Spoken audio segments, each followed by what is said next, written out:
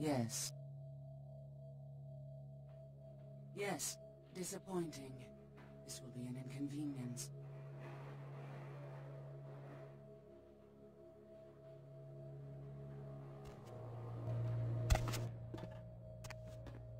Yes.